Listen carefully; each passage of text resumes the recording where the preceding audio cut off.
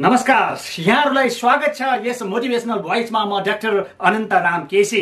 यहाँहरूलाई पब्लिक स्पिकिङको सिरिजहरूको क्रममा आज पनि महत्त्वपूर्ण विषय सम्बोधन कसरी गर्ने? सम्बोधन कसरी गर्ने? यो धेरैको प्रश्न थियो। सम्बोधनै सुरुवात कसरी गर्ने सर? सम्बोधनै असिलो हुन्छ अथवा चाहिँ सुरुवात गर्नै गाह्रो हुन्छ भनेर धेरैले प्रश्न कमेन्ट गर्नुभएको थियो। त्यस सन्दर्भमा आज सम्बोधन कसरी गर्ने? पब्लिक स्पिकिङ गर्दाखेरि स्टेजमा मञ्चमा मासमा ठुल्ठुलो सभाहरूमा समारोहहरूमा हलहरूमा अथवा चाहिँ चारजनाको अगाडि अथवा खुलेर बोल्नका लागि मासमा पब्लिक स्पिकिङ गर्दा कसरी सम्बोधन गर्ने भन्ने विषय वस्तुमा आज पनि तिनवटा तिनवटा कुरालाई महत्त्वपूर्ण विषयलाई म यहाँ प्रस्तुत गर्छु। त्योभन्दा अगाडि कृपया यसमा कसै नयाँ साथीहरूले सब्सक्राइब र बेल थिच्नुभयो निरन्तर भिडियो आइरहेको छ। र म तपाईँहरूलाई विनम्रताका साथ अनुरोध गर्छु कि यसलाई लाइक गर्नु। बढी लाइक भयो मलाई उत्साह बढ्नेछ र यहाँहरूलाई निरन्तर रूपमा एउटा फ्री युनिभर्सिटीको रूपमा पब्लिक स्पिकिङको पुरै भिडियो सम्पूर्ण आवश्यक भिडियोहरू एउटा एज अ ट्रेनिङकै रूपमा म यहाँहरूलाई प्रस्तुत गर्छु। ट्रेनिङ पनि हामी दिन्छौँ। ट्रेनिङका लागि पनि आउनुहोस्। हाम्रो फेसबुक पेज जुन डक्टर अनन्त रामकेसी फेसबुक पेजलाई फलो गर्दै सूचनाहरू सङ्ग्रह गर्नुहोस्। हामी छिट्टै पब्लिक स्पिकिङका ट्रेनिङहरू आयोजना गर्न गइरहेका छौँ। भाषण कलामा तपाईँलाई दमदार भाषण गर्न सक्ने एउटा व्यक्तित्व विकासको लागि त्योभन्दा मैले विशेष अनुरोध गरेँ यो भिडियोलाई व्यापक सेयर गर्नुहोस् पुरै हेर्नुहोस् पुरै भिडियो घुमाइ घुमाइ घुमाइ हेर्नुहोस् र प्र्याक्टिस गर्नुहोस्। र अब भने तिनवटा सम्बोधन गर्नु अगाडिको सम्बोधन गर्नका लागि सम्बोधन गरिसकेपछि अथवा तिनवटा चरणमा के के गर्ने त भन्ने विषयमा महत्त्वपूर्ण विषयमा सबैभन्दा पहिला सम्बोधन गर्नु अगाडि सम्बोधन जुन मान्छेले सम्बोधनमै लामो लामो गरेर अल्मलिएर कसरी गर्ने के गर्ने यो नै समस्या परिरहेको सन्दर्भमा म प्रष्टसँग भन्न चाहन्छु तपाईँले पहिला सुरुमा फर्मल अथवा इन्फर्मल अथवा औपचारिक र अनौपचारिक स्पिच के हो प्रस्तुति के हो त्यो बुझ्नुपर्छ।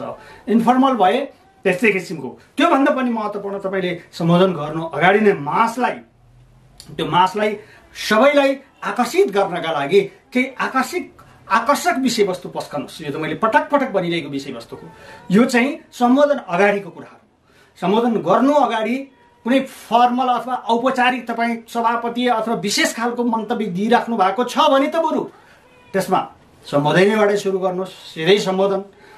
होइन? तपाईँ चाहिँ एउटा व्यक्तित्व व्यक्तित्व अथवा व्यक्तित्वमा एउटा निखार त दम ल्याएर सारा ठुलो मासलाई प्रभावित गर्नु परेको छ आकर्षण गर्नुभएको चाहिँ नयाँ वक्ता हुनुहुन्छ।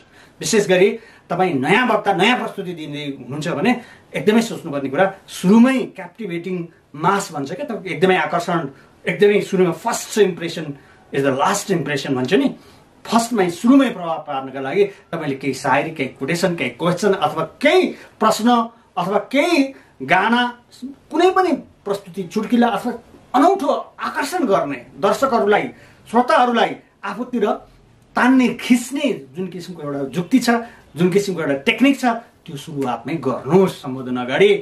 भन्नुहोस् लहरों से डरकर नौका पार नहीं होती।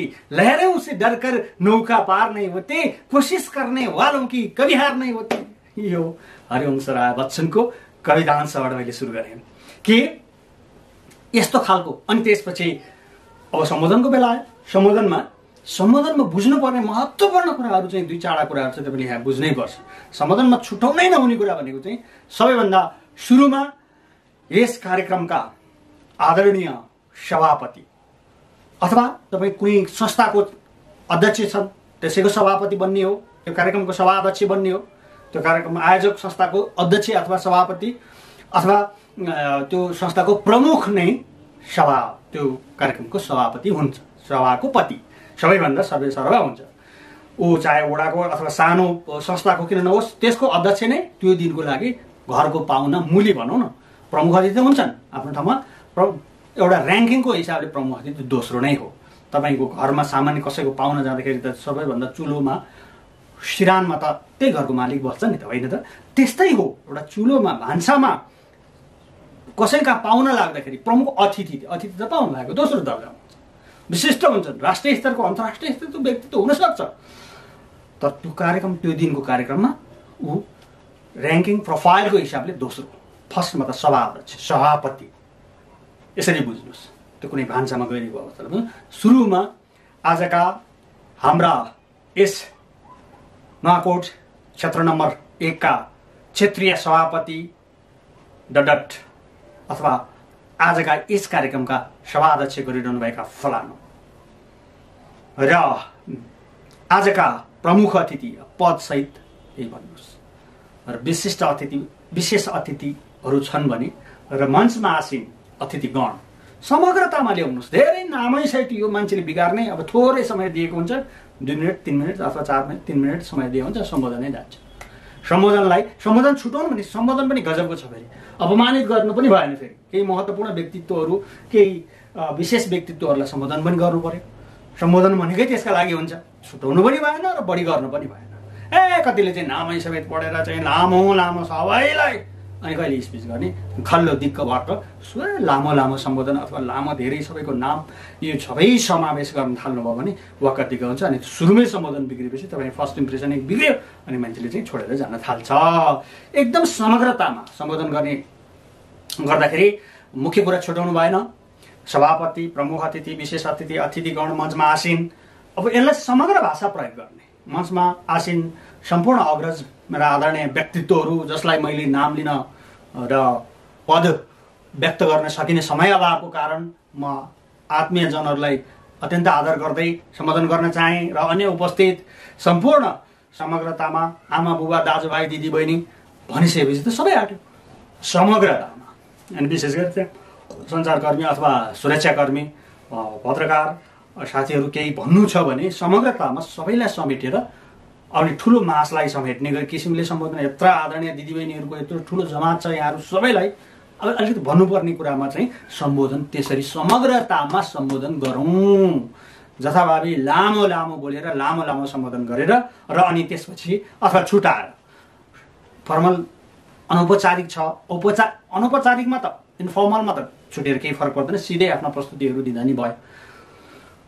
औपचारिक अथवा यानि कि फर्मल प्रोग्राममा छ। तपाईँ फर्मल एउटा स्पिच दिँदै हुनुहुन्छ भने सम्बोधनलाई चाहिँ बिगार्नु हुँदैन फेरि। सम्बोधन बिग्रियो भने तपाईँले फर्स्ट इम्प्रेसन बिग्रिन्छ। सुरुमै आजका प्रमुख अतिथि सभापतिलाई चाहिँ नगरिकन अथवा चाहिँ विशेष आजका अतिथिगण भनेर गर्नु सुरुमा तपाईँले इम्प्रेसन बिग्रियो। सुरुमा सभापति त्यसपछि प्रमुख अतिथि। अब प्रमुख अतिथि हुँदाखेरिको त्यसपछि विशेष अतिथि अतिथिगण हुँदै एवं क्रमले त्यो समग्रता लिने सबैलाई समेट्ने समग्रतामा जाने। यो यसले गर्दा तपाईँको चाहिँ यो जुन वक्तित्व छ जुन प्रस्तुति छ त्यो दमदार हुन्छ। दमदार गर्नको लागि त्यो मिलाउनै पर्छ या सम्बोधन सम्बोधनको प्र्याक्टिस गर्नु। सुरुमा त स्पिच दिने तपाईँ नयाँ हुनुहुन्छ भने सुरुमा सम्बोधन लेख्नुहोस् र लेखेर गर्नुहोस् प्र्याक्टिस गर्नुहोस् कण्ठ गर्नुहोस्। र छुटाउनै नहुने फेरि पनि नयाँ साथीहरूलाई म भन्दैछु के सम्बोधनको क्रम एउटा पोर्टफोलियो क्रमलाई मिलाउन तपाईँ सिपालु हुनुपर्छ। अनि फेरि अपमान गरेको जस्तो ठान्छन् त्यहाँ। अपमानित पनि त गर्नु भएन। सम्मान गर्नका लागि जाने हो अरूको दिल जित्नका लागि जाने हो अरूलाई आफ्नो बनाउनु जाने हो। अनि फेरि कसैको त्यस अर्थमा फेरि बढी चाकडी गर्ने पनि हुन्छन्। ओहो लामो लामो बोलेर उसको उसैको लागि सम्बोधन गरेर बढी चाकडी गर्ने चाप्लुसी चाकडी चाप्लुसी भने बढी फाइदा लिनका लागि। तत्काल फाइदा गर्नुपर्छ। प्रशंसा र चाप्लुसीमा फरक छ। प्रशंसा त गर्नुपर्छ सम्मान गर्नुपर्छ। सम्मानको मान्छेको उसको योग्यता क्षमता गुण उसको व्यवहारलाई त प्रकट गर्नुपर्छ तर चाकडी चाप्लुसै चाप्लुस गर्नु हुँदैन। चाप्लुस भनेको पर्दाखेरि आफूलाई आवश्यक पर्दाखेरि बढी गर्ने नत्र व्यवस्था गर्नेलाई नि चाप्लुसी भनिन्छ। यो बढी स्वार्थ हुनु त मान्छेको प्राकृतिक स्वभाव हो नेचर हो मान्छे स्वार्थी नै हुन्छ। स्वार्थी त स्वार्थ प्रकट बढी गर्ने र नगर्नेको बढी हुन्छ। एवं क्रमले यो प्रस्तुति गर्नुहोस् यो सम्बोधनमा। र सम्बोधन जुन गरी लामो लामो सम्बोधन नगर्नु मैले भनि नै सकेँ नामसहितको प्रकट गरेर सबैको पर्दैन समग्रतामा। यसमा अलिकति सम्बोधनमा प्रष्ट भाषा प्रष्ट पदहरूको चाहिँ छुट्ला। छुट कतिले चाहिँ यो छुट्छन्। अनि त्यो क्रमाङ्क पनि धेरै गजाङ जुन गर्छौँ यो गर्नु हुँदैन। यसको लागि यो एकदमै अभ्यास गर्न जरुरी छ भन्दै यो सम्बोधनमा यी कुराहरू ध्यान दिनुभयो भने सुरुमा इम्प्रेसन पार्ने कुरा त्यसपछि सम्बोधनलाई क्रमबद्ध रूपमा बनाउने कुरा तयारी गर्ने कुरा सबैलाई समेट्ने कुरा यी केही दुई चारवटा कुराहरूमा ध्यान दिनुभयो भने तपाईँको सम्बोधन। राम्रो पर्छ सम्बोधनमा सम्बोधन त सुरुमा आउने हो नि। सुरुमै बिग्रियो भने के हुन्छ त? स्पिच मान्छे त त्यो अडियन्स त अडिँदैन। ए यसको पारा यही रहेछ। यसले यही के भन्छ नि बो के चाहिँ गीत गाउनेको सुशीलता थाहा पाइन्छ भने जस्तै राम्रो गर्छ कि नराम्रो गर्छ भन्ने कुरा फर्स्ट इम्प्रेसनै सम्बोधनमा पर्ने भएको हुनाले यी कुराहरू ध्यान दिनुहोस् भनेर आएर हेरिदिनु भयो नागार्जुन